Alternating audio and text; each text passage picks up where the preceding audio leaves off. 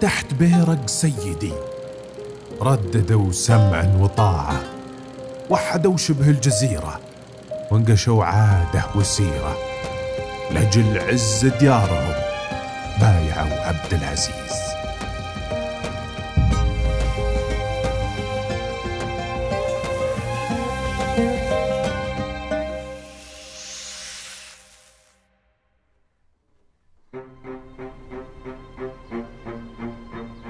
السلام عليكم ورحمة الله وبركاته يا شيخ. وعليكم السلام ورحمة الله وبركاته. ثلاث سنين يا شيخ وأنا بذا المحاكم. ولا به قاض إلا ومرت عليه قضيتي. لا حكموا لي ولا حكموا علي. أنا أدري إنها قضية صعبة ومعقدة ولكني داخل على الله ثم عليكم يا شيخ. احكموا لي ولا الغريب. أهم شيء تنتهي هالقضية. صل على النبي واجلس. وعلمني بقضيتك وابشر. ترى ما جينا لهالمكان. إلا ننظر بأمرك ونحكم بشرع الله غدا حلالي ومالي كله يا شيخ. تكفى داخلا على الله ثم عليكم يا شيخ. افزعوا لي انصفوا لي منهم يا شيخ. ثلاث سنين وأنا رايح جاي ولا بهقان أعوذ بالله من الظلم والذل وقهر الرجال. والله إن حديثه على النفس ثقيل ويضيق الصدر. اللهم أعني على طاعة ولي الأمر. ثم تادية ما كلفت به على الوجه الذي يرضيك.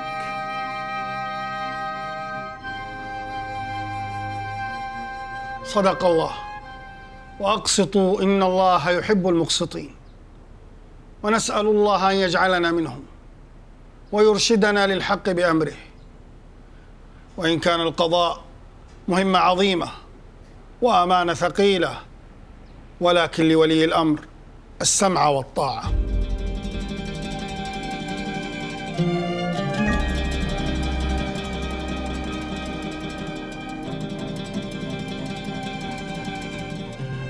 زين إن شاء الله ثلاثة أيام وننظر في قضيك.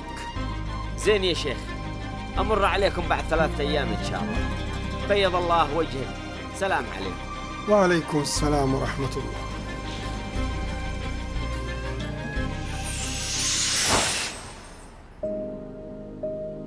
في بيت طيني بسيط بحي معكال أحد أشهر أحياء الرياض القديمة. ولد يتيم الأب ميسور الحال في عام 1329 من الهجرة. تزامنت سنواته الأولى مع انتشار الجدري فأصيب به وعلى إثره فقد بصره. اهتمت به والدته وعاش معها في كنف أبي الأيتام محمد البكر. الرجل الطيب الذي تزوج بها وقام على شؤونها وابنها. كان حلم الأم أن تراه حافظا للقرآن واماما أو مؤذنا.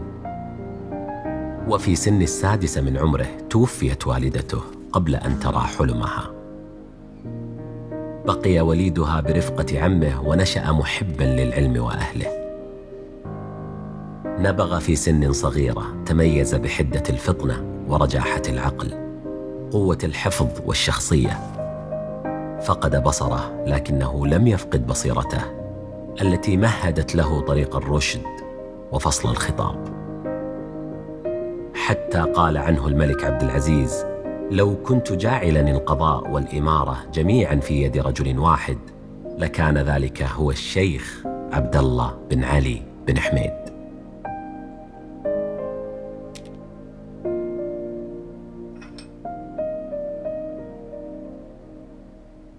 عبد الله بن حميد من أهالي معكال بالرياض. ولد في 29 ذي الحجة سنة 1329 للهجرة وتوفي والده وعمره سنتين.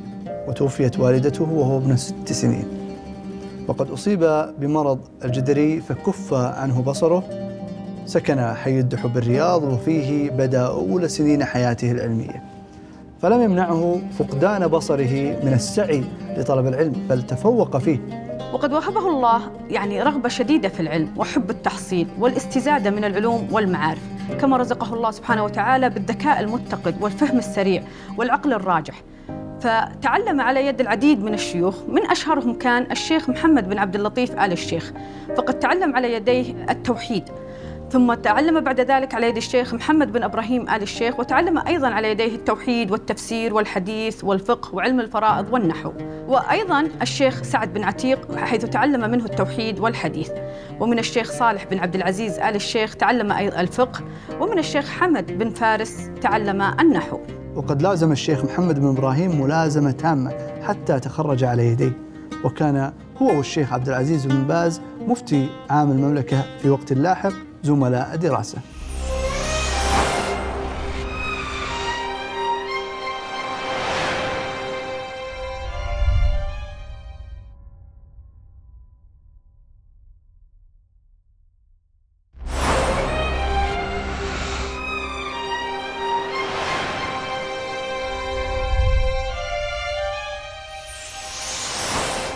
راسخ في العلم جالس علماء عصره ونهل من المعارف. حين بلغ الثامن والعشرين من عمره ناداه الملك عبد العزيز ليكلف بتولي القضاء في مدينة الرياض. فاعتذر ابن حميد لعظم المهمة وبعد حوار جليل أقسم عليه الملك بثقته بعلمه وإعجابه بقوته فقبل سمعا وطاعة. في عام 1357 من الهجرة ولي قاضيا لعاصمة المملكة العربية السعودية ثم انطلق من محكمة الرياض إلى سدير والمجمعة ثم القصيم ومنها إلى محاكم جدة ومكة المكرمة والمدينة المنورة والطائف. تنقل ابن حميد بوقاره وهيبته قاضيا بالعدل فاصلا بالحق تاركا أثرا عظيما في ساحات القضاء. أكثر ما كان يميز الشيخ عبد الله بن حميد تمتعه بذاكرة حديدية مما يساعده على استحضار الكثير من المسائل العلمية وتذكرها وإن طال بها العهد. وقد تميز الشيخ عبد الله بن حميد بحدة في الذكاء وقوة في الحفظ وسرعة في الاستحضار ومعرفة الناس من أصواتهم في صورة نادرة كانت مثار دهشة لكل من عرفه أو اتصل به. من المواقف التي تدل على هذه الفطنة وقوة البصيرة وكذلك ذاكرته القوية في الأصوات أن دخل على مجلسه أستاذ مصري كان يدرس في كلية الشريعة علم البيان. فرغب بحضور دروس الشيخ في ذات يوم فلما دخل طرح السلام بصوت جهوري. فقال له الشيخ عبد الله سيد عبد الفتاح حجاب فتعجب الدكتور. سيد من معرفة الشيخ باسمه رغم أنها المقابلة الأولى له فسأله كيف عرفت من أنا؟ فقال الشيخ عبد الله ألست من كنت تقدم برنامجا في القراءة من كتاب الجاحظ البيان والتبين؟ في إذاعة القاهرة؟ فرد عليه الدكتور نعم منذ عشر سنوات فقال الشيخ وهو كذلك عرفتك منه في عام 1371 من الهجرة كان القاضي بن حميد على موعد مع حدث فريد حيث استحدث منصب مستشار الملك في الشؤون الدينية. فرأى الملك عبد العزيز أنه الجدير بهذا المنصب فأرسل في طلبه من القصيم. تناهى الخبر إلى الأهالي. بأن قاضيهم سيغادر إلى الرياض. توجه وفد منهم إلى قصر الحكم. التقوا بالملك عبد العزيز ثم طلبوا منه إبقاء قاضيهم على القصيم وألحوا في الطلب. في ثنايا المجلس الملكي بين الملك للشيخ ابن حميد أن أهل القصيم يريدون عودته إليهم وهو الإمام والواجب طاعته. ثم جعل الحكم والفصل له. هنا تجلت فطنة القاضي وحكمته. حين أجاب أنا في السمع والطاعة. إن أمرتني بالبقاء بقيت وإن أمرتني بالذهاب معهم سأنفذ. ليكون بذلك عبد العزيز ملكا وقاضيا في المسألة. فاتجهت الأعين إليه وحبست الأنفاس انتظارا لحكمه. نظر الملك في الوجوه التي وقفت أمامه طلبت وألحت. قدر الأرواح التي سارت من القصيم حتى بلغت مجلسه. ثم جعلها في ميزان الإيثار والتقدير مخبرا ابن حميد أنهم توجهوا إليه من بلادهم وأنه ليؤثرهم على نفسه فعاد القاضي مع أهل القصيم. كان الشيخ عبد الله بن حميد محل إجلال وتقدير من الحكام حيث كانوا يجلونه ويعرفون قدره ويحترمونه غاية الاحترام لسعة علمه وبعد نظره ونصحه لعامة المسلمين وولاتهم وما يقوم به من خدمة الإسلام والمسلمين. بل قيل أنه لم يكن قاضيا فحسب بل مرجعا للقضاة في منطقة القصيم. وكان القضاة يلجؤون إليه في السؤال عن مسائل القضاء المشكلة لديهم. وكان يتميز بصدقه ونزاهته وأمانته في عمله فلم يكن يخاف أحدا غير الله فكان يقضي ويحكم بما أنزل الله ورسوله. ومن بعد الملك عبد العزيز رحمه الله تأسست في عام 1384 الرئاسة العامة للإشراف الديني على المسجد الحرام. فوقع اختيار الملك فيصل رحمه الله وقتها كان ولي العهد على ابن حميد ليكون رئيسا لها وهو أول رئيس لهذه الرئاسة المهمة. واستمر في هذا العمل حتى العام 1395 للهجرة إذ عينه الملك خالد رحمه الله رئيسا لمجلس القضاء الأعلى. وبعدها تم تأسيس مجلس هيئة كبار العلماء واختير عبد الله بن حميد ليكون عضوا من أعضائه وبقي في هذا المنصب حتى وفاته.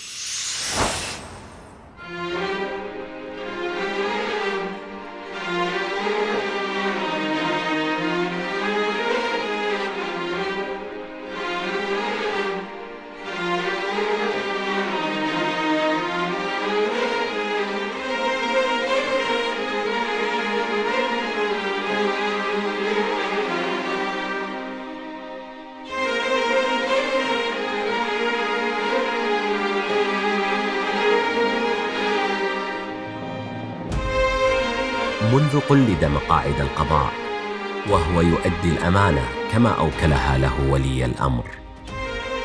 ثم التفت لأولئك الراغبين في العلم ليتزودوا به فأعانهم في طلبه بنفس تواقة للنفع هديها وتعاونوا على البر والتقوى.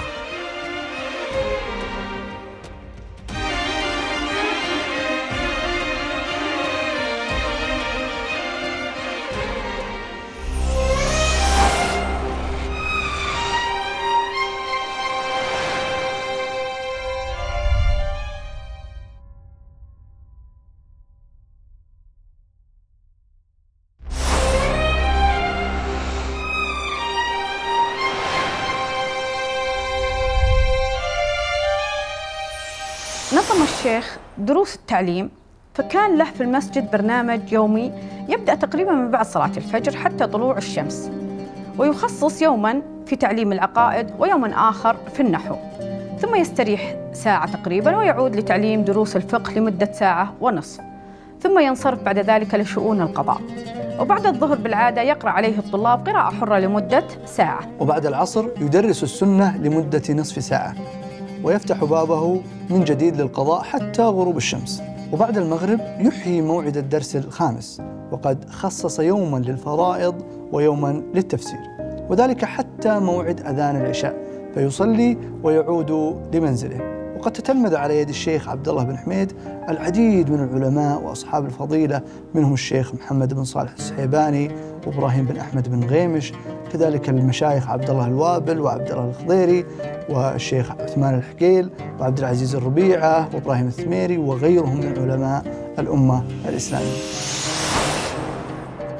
تنقل في مجالس العلم صغيرا وأثراها كبيرا على أرفف المكتبات تصطف العديد من فرائد مؤلفاته.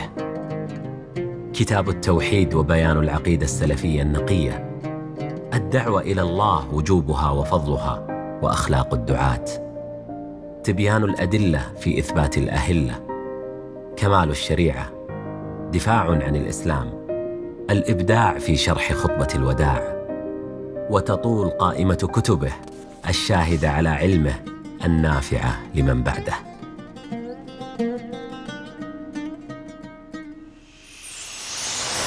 الشيخ عبد الله بن حميد رحمه الله كان ملء السمع والبصر في زمانه وقد تناولت العديد من الكتب مسيرته وسيرته على فترات متفرقة ولكل منها منهج خاص به واهتمام بجوانب مختلفة من سيرة الشيخ كما قدمت عن فقه الشيخ وقضاياه رسائل علمية وجهوده في تقرير العقيدة والتوحيد والتربية والإصلاح والدعوة. وكانت تنشر سيرته وتعرف طريقته والقصص عنه من علم وعقل وفراسة ورسوخ. ومما قيل عنه قول العلامة بن باز أنه ترك أثرا كبيرا وفراغا عظيما وذلك بسبب غزارة علمه وكثرة فضله واهتمامه بأمور المسلمين وتوجيههم للخير وذلك عن طريق الكتابة والخطابة والوعظ العام. كما وصف في كتاب علماء نجد خلال ثمانية قرون أنه عالم فقيه لا يشق له غبار وبخاصة في فقه الحنابلة.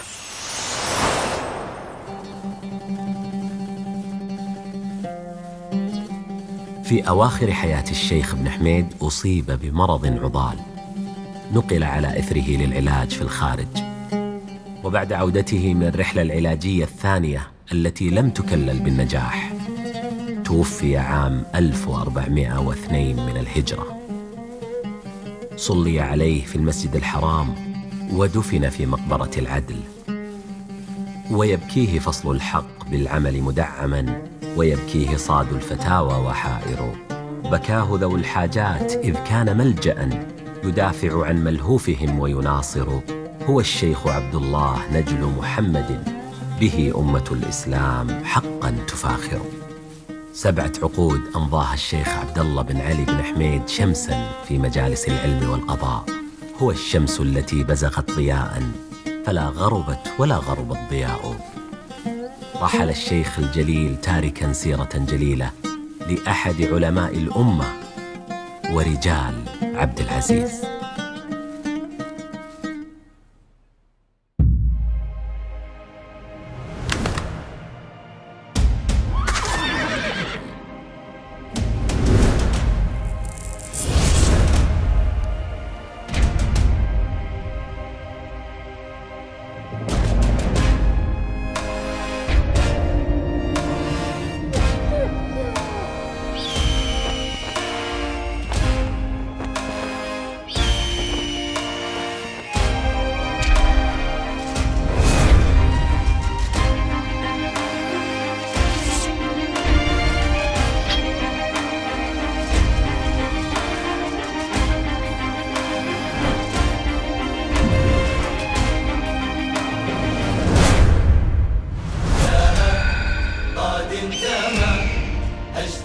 Oh, no.